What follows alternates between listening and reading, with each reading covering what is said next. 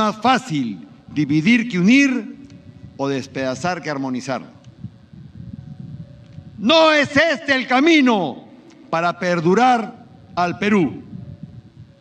El camino correcto es la unidad nacional. Hola, ¿qué tal amigos? Sean bienvenidos a Perú Todo Noticias. El día de hoy el presidente Pedro Castillo asistió a la ceremonia por el Día de las Fuerzas Armadas y se quedó frío porque un comandante general de las Fuerzas Armadas lo cuadró en vivo y casi lo deja en shock con sus fuertes palabras. Vamos a ver más detalles en la siguiente nota ya que le lanzó una indirecta bastante Las Fuerzas Armadas del Perú son gloriosas.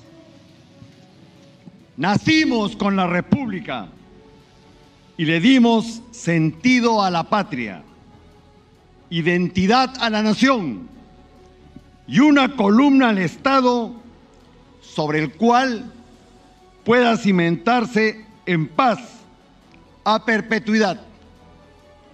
Nos batimos en los campos de batalla para definir nuestras fronteras, doblarle la cerviz al terror más inclemente y estar donde nuestra población nos necesite. Nuestras Fuerzas Armadas son y serán el soporte de la República el arma contra cualquier amenaza y el bastión donde los ciudadanos juntos se pueden guarecer con confianza. Por eso son gloriosas, están por encima de cualquier deseo personal y ninguna oscuridad de obra o pensamiento podrá opacarlas. Señor Pedro Castillo Terrones, presidente de la República. Señor general de división, José William Zapata, presidente del Congreso de la República. Doctor Aníbal Torres Vázquez, presidente del Consejo de Ministros. Señores congresistas de la República. Señor Richard Tineo Quispe, ministro de Defensa. Señor Willy Huerta Olivas, ministro del Interior. Señor almirante Alberto Alcalá Luna, comandante general de la Marina de Guerra. Señor general del aire Alfonso Artadi Saletti, comandante general de la Fuerza Aérea señor general de ejército, Walter Córdoba Alemán, comandante general del ejército, señor general de policía, Raúl Alfaro Alvarado, comandante general de la Policía Nacional del Perú, señores generales y almirantes, ex jefes del Comando Conjunto de las Fuerzas Armadas, Monseñor Guillermo Inca Pereda, vicario general castrense del Perú. Señores generales y almirantes de las Fuerzas Armadas y Policía Nacional del Perú.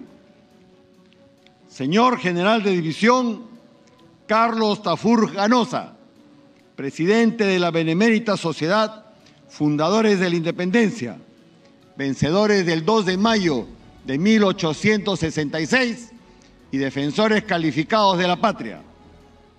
Señor Teniente General Wilson Urteaga Cabrera, presidente de la Asociación de Oficiales Generales y Almirantes.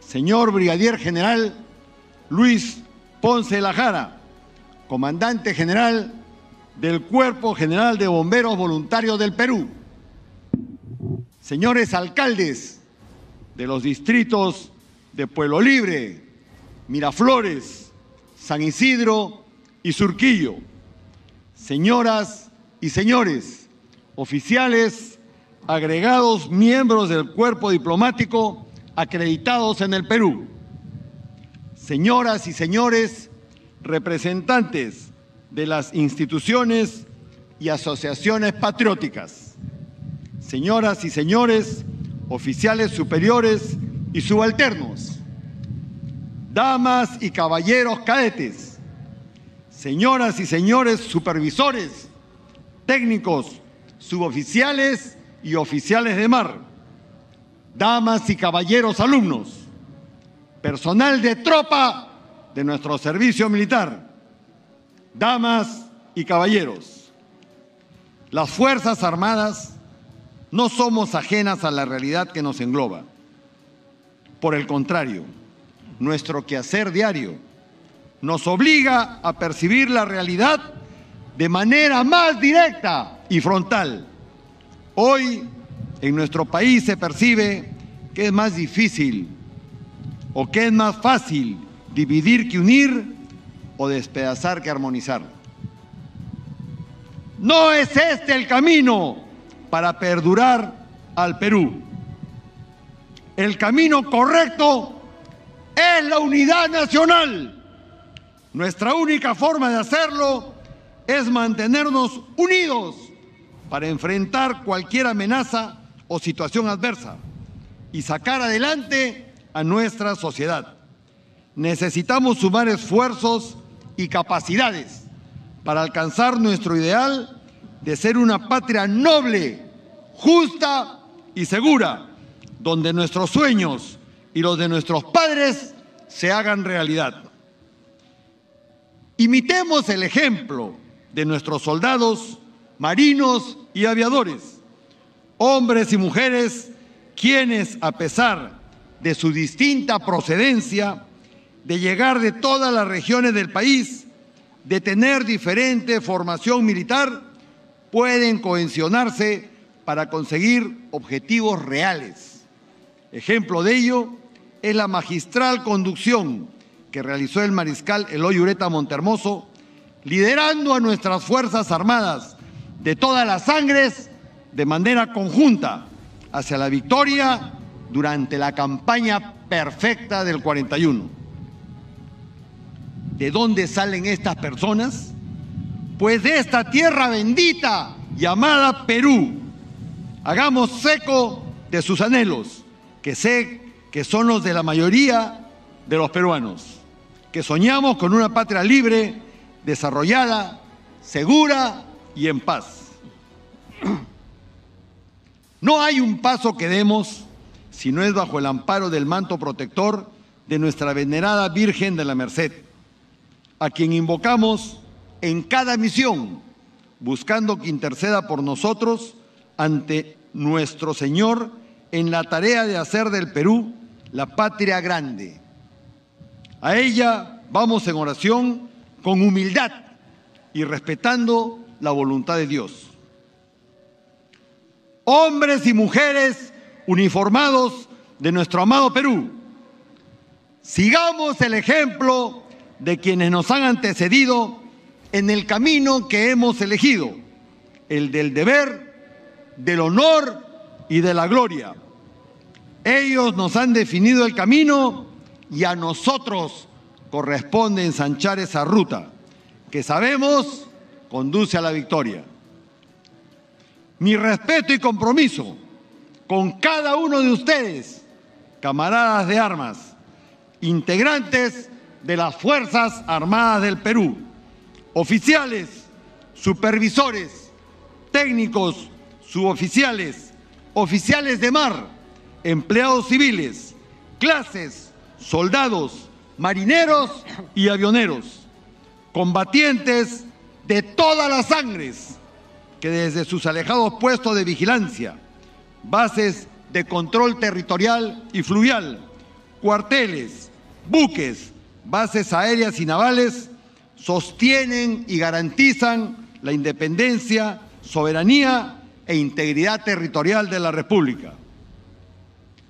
Esa es nuestra esencia, nuestro valor, sin dejar de ser lo que somos, seres humanos con principios y valores.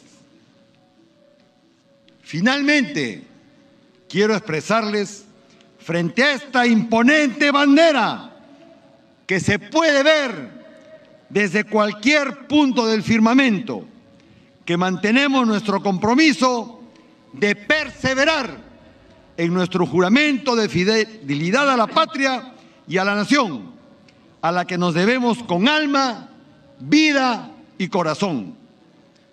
Por esta razón, les aseguro que nuestras gloriosas Fuerzas Armadas estamos totalmente unidos, porque el país necesita de un ejército, marina de guerra y fuerza aérea trabajando como un solo equipo, sólido e inquebrantable.